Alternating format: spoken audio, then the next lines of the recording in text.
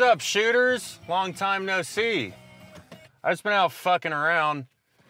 Today we're gonna be talking about rifle setup. So I'll meet you in the back here in a second. So, whenever you're gonna set up a rifle, the first thing you wanna do is identify the purpose of the rifle. The example I'm gonna be using today is my competition rifle. So all of the components that I put together for this rifle are specifically designed for competition. So we're gonna do a quick breakdown of the rifle, talk about the components, talk about what they do, and talk about other similar components and how they can be used for other purposes of shooting. So I'm gonna grab a couple things and get set up. Rifle, tripod, video gear, audio gear, top shelf tobacco. Check.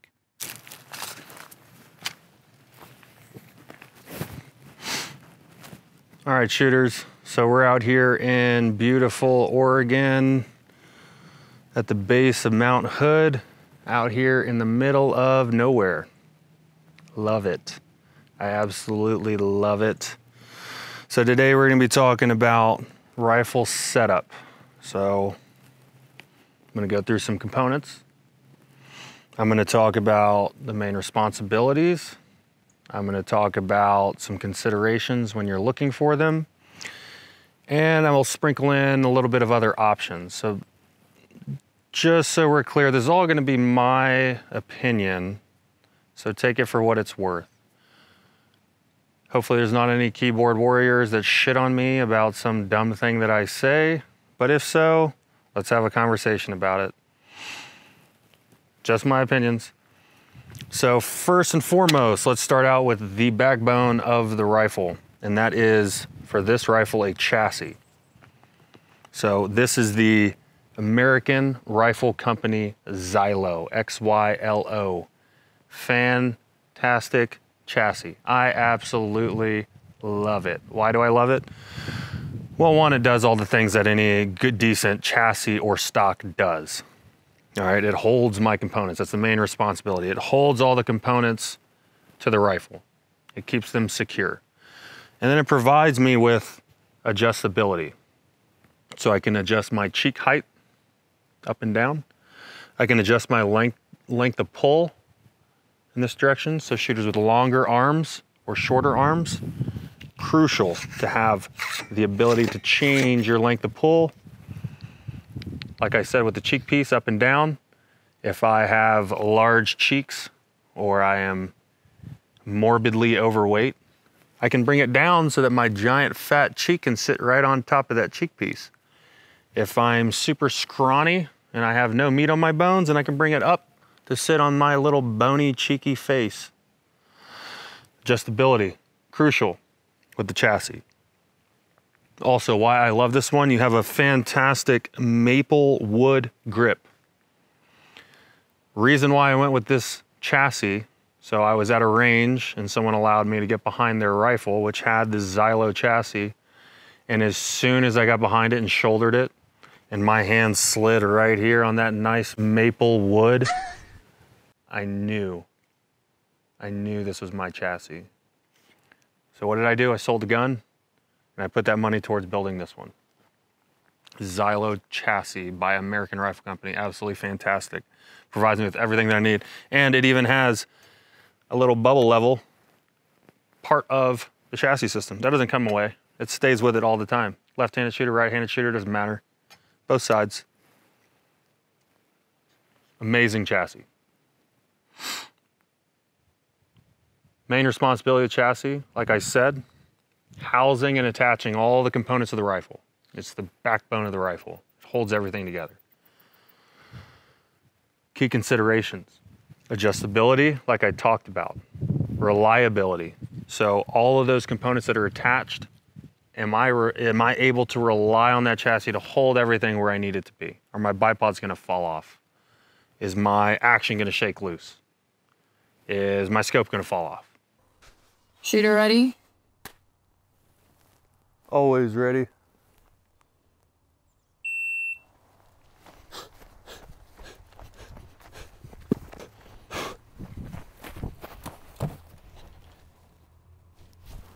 Oh shit. No, it's not going to because I have an American Rifle Company Xylo chassis. So that's it with the chassis. Let's move up to the action.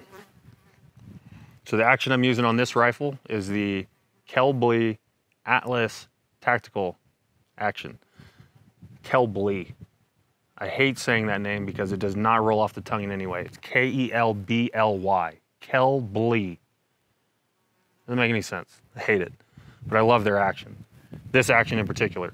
So when I was going and looking for an action, I wanted something that would run through the cycle of operations. Cycle of operations being what happens when I have a magazine in and ammo in it, and I push this bolt forward, I chamber that round, lock it into place, pull my trigger, shoots, my bolt unlocks, extracts, ejects, ammo comes out, and then the cycle continues. I need something that is going to go through those cycle of operations and do so reliably. So you're gonna see a trend here through all these components. Reliability and repeatability are two huge, huge considerations whenever we're talking about precision rifles.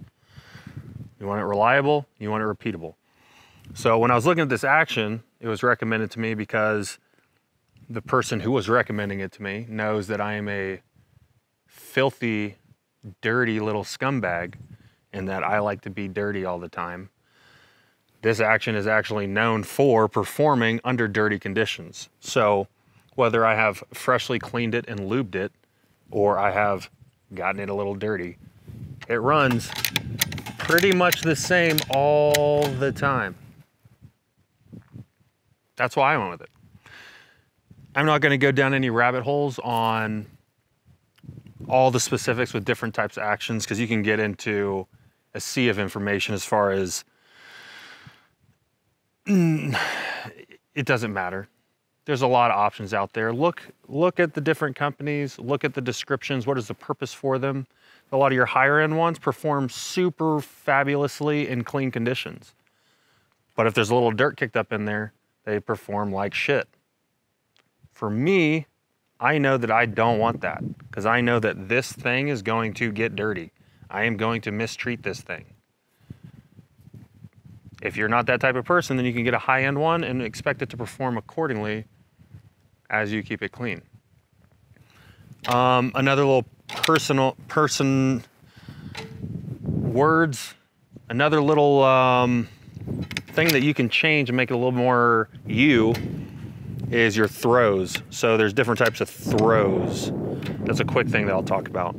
So with throws, it talks about that's talking about how high this this bolt has to come up. This little arm, the lever has to come up in order to unlock from the chamber. So you see that this is almost all the way up touching my scope. And so they make different degree levers and different degree throws for you to be able to unlock. Pros and cons. I guess not really even any cons to having a shorter throw. It's just personal preference. So that's one thing to look for. And one thing that you might see, now you understand whatever degree throw is in reference to the height this lever has to come up for it to unlock so that I can pull it back and continue my cycle of operations. Moving up from the action, let's talk about scope bases and scope rings. Not gonna get super in the weeds because there's no need to. What do they do? They hold the scope.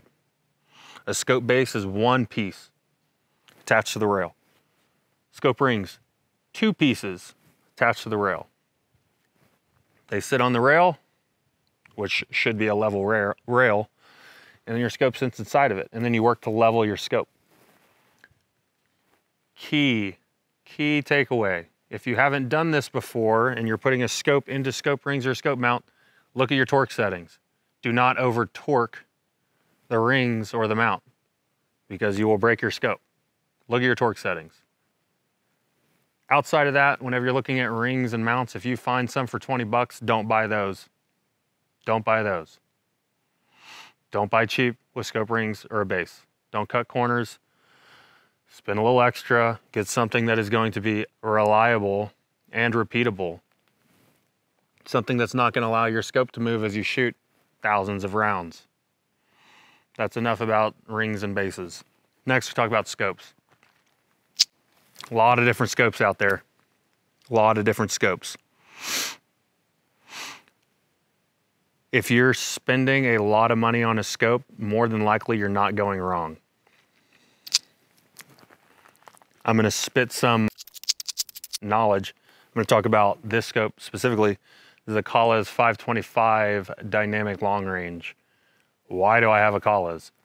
I don't fucking know. It's because some people that I know that are very proficient at what they do have these scopes. I was I was fortunate enough to use them, loved them, thought the clarity of the glass was fantastic. I love that the parallax sits right here at the elevation knob. Parallax we'll get to in a second. And I love the reticle pattern. And the icing on the cake was I got hooked up with a discount. That's why I have a Kahles. some other fantastic scopes and companies to look at.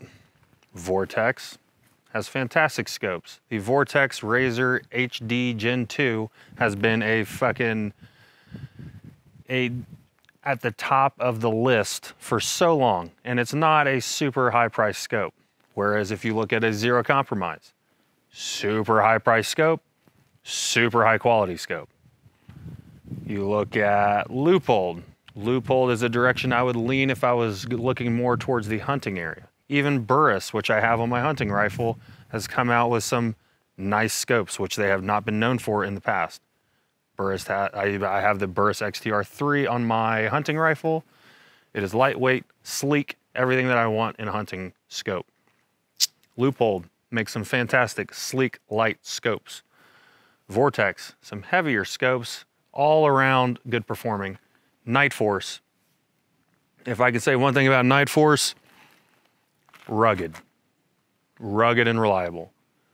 We use Nightforce in the military and we could beat the absolute shit out of those scopes and they would never give up. They would never stop doing their job. So that's just a couple of the there's there's more, but those are the ones that I'm gonna I'm gonna stop right there before I just go on a tangent. So when we're looking at scopes, what do we want from it? Well, we obviously want a magnified view of the downrange area where we're shooting, where we're looking. We want the ability to make adjustments. So we want an elevation knob and a windage knob. The windage knob can be on either side of the scope, but generally it is on the side of the scope. The elevation and windage knob, all that they're responsible for is as I turn them and hear those clicks or whatever, as they're spinning, that reticle pattern is either going up and down or it's going left and right. And that's how I make adjustments for as I'm shooting downrange. Some other things you're gonna see on a scope is a magnification ring. You'll see a parallax knob generally. On the Kahles as a parallax ring at the base of the elevation knob. You have a ocular focus ring. Sometimes you have some type of illuminating device that illuminates the reticle in the scope. So we talked about um, elevation and windage. So magnification is what it is what is what it sounds like. It magnifies the picture that you're looking at. The parallax. Let's talk about the parallax and the diopter focus ring. So this focus ring that's close to your eye. Correction, ocular focus ring. Ocular focus ring, what does it do? Focuses, focuses what? The ocular focus ring focuses your eye to the reticle. So you're focusing in this distance. Parallax. Easiest way to think about it is target focus. It's distance from this reticle pattern to that target. Easiest way to think about it. Keeping it simple. Haters hate. And then your illumination knob, that's just illuminating a portion of the reticle and that's for low light conditions. Personal opinion, I don't give one shit if I have an illumination knob. I don't care. I never use it. I don't care. All right, and that pretty much sums it up with the scope. Again, just like some of the other components that we've talked about, reliability, repeatability. That's what I want from this. If I accidentally dropped it, not off of here because that's like 200 feet down, the gun would literally die. But if I dropped it right here, I would hope that my scope is able to survive this fall. I'm confident that it is. I'm not going to do it on camera because I don't want to, not an asshole. Reliable. It can take a little bit of a beating, and I want it repeatable. I want it to do the same thing all the time. I don't want to change it up on me. All right, so stepping down, down from the scope, going to the trigger. The trigger that I have in this rifle is a Timney hit trigger. I love it. I have had zero issues with it. I don't, I'm sure that there's little girls out there that complain about every little aspect of everything on their gun. I'm simple. I am easy to please. With a trigger, what do I want? I want to be able to pull it and it makes the gun go bang. I want to pull it and the gun goes bang. And every time that I do that, I want it to pull at the same weight. I don't want to pull once and have a half pound trigger, cycle the bolt, and then the next pull is a five pound trigger. I don't want that. So I want reliable, I pull it, it shoots, and repeatable, Uh, every time that I pull, it is repeating the same pull. I don't want it changing.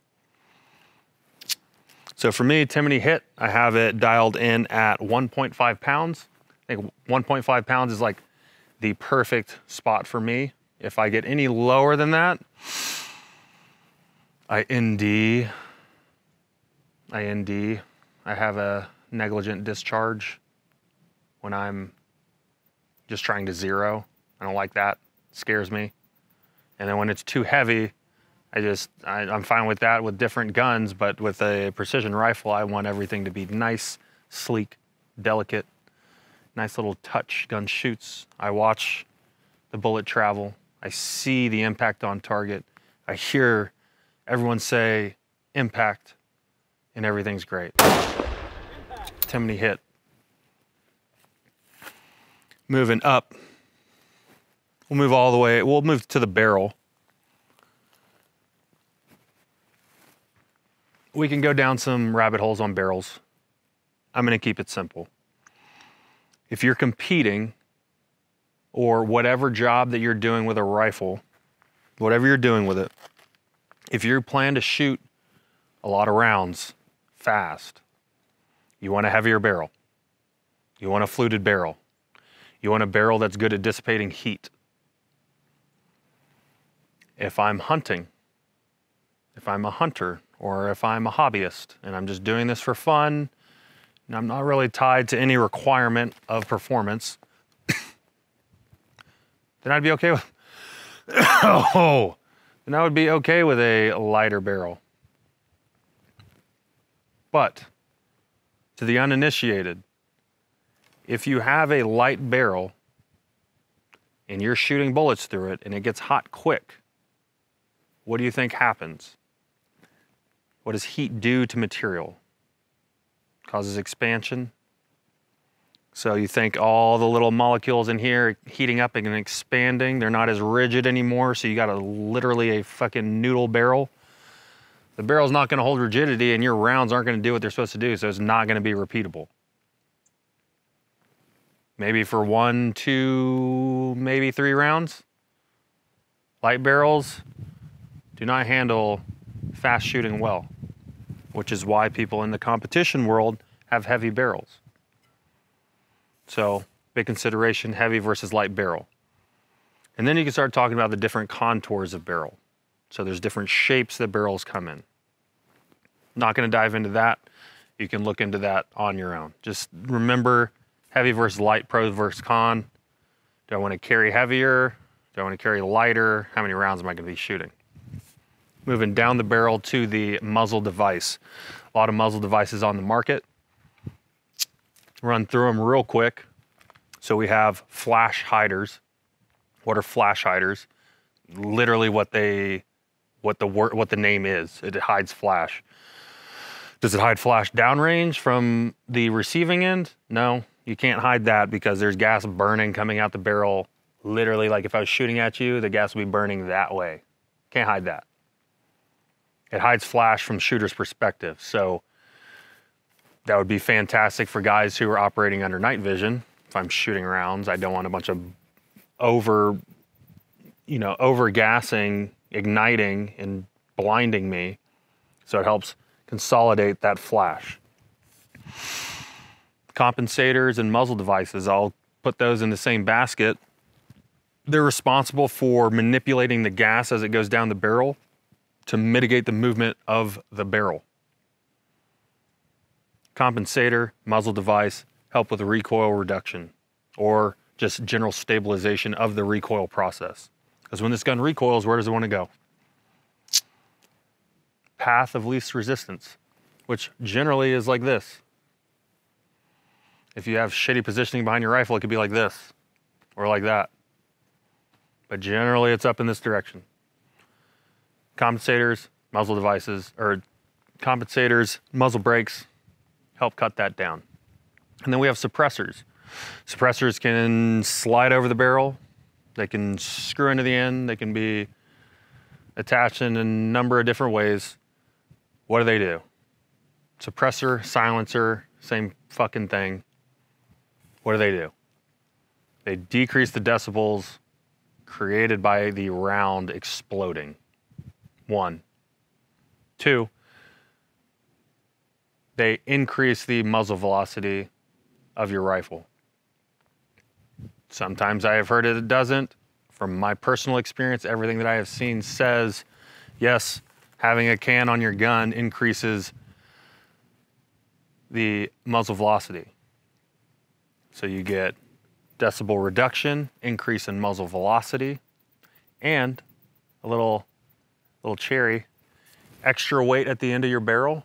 That extra weight, we know the barrel wants to do this when it shoots, so extra weight helps mitigate some of that recoil. So you get a nice, a nice little package deal with suppressors. And then there's hybrid style muzzle devices, which take a little bit of everything and put it into one little sweet thing. So that's it with the muzzle devices. On this rifle, I have a Area 419 um, Hellfire match. So there's just a four port muzzle brake. From my personal experience with this muzzle brake, combined with the weights that I can add to my chassis, I saw a dramatic decrease in the felt and perceived recoil from this rifle. I thoroughly love this. The one downside is if you're on a firing line and you have a three port, four port, whatever muzzle brake, and they're directed this way, compensators are generally directed like this, muzzle brakes like that, it's gonna reach out and touch the guys around you. They're not gonna like it, especially if they have suppressors. So another really nice thing about this is you get to piss everyone off around you. I love this brake. Pisses everyone off. Enough about muzzle devices. Moving down to our last component, bipods. A lot of bipods out there. A lot of fancy ones do all kinds of stuff, have different kinds of feet, different kinds of extensions, different angles that they can set on.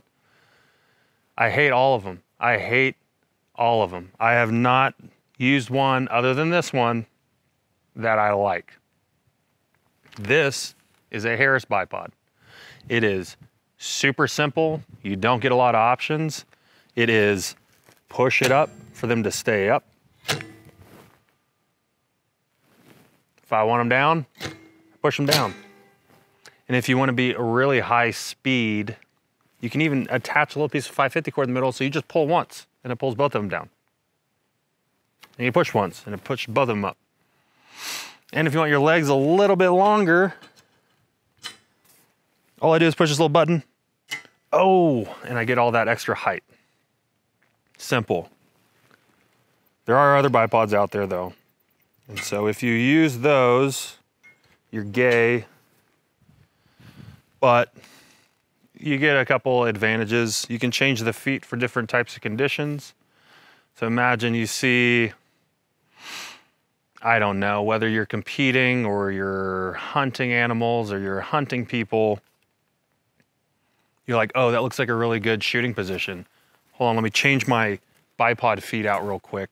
Let me put these spiky ones on so I don't slide around over there. And you take your time changing those out. You get over your position, you hit your little button to drop them down, and it drops four feet to the ground, but you want it at like a 35 degree angle, and it'll do that. There are bipods that'll do that.